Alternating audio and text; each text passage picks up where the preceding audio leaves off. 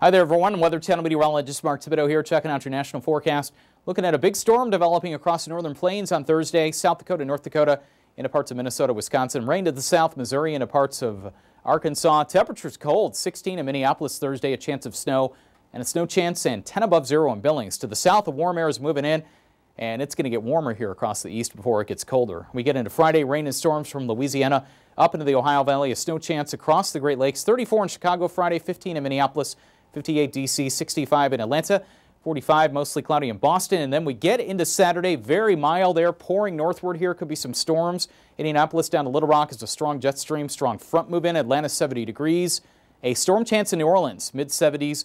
And all this weather that's in the central U.S. is going to be heading east to be along the east coast by Sunday. So if you're traveling Sunday, Boston, New York, D.C., could be rain and thunderstorms. Meantime, an icy mess here in the Midwest from Kansas City to Chicago into parts of lower Michigan as we round out the weekend.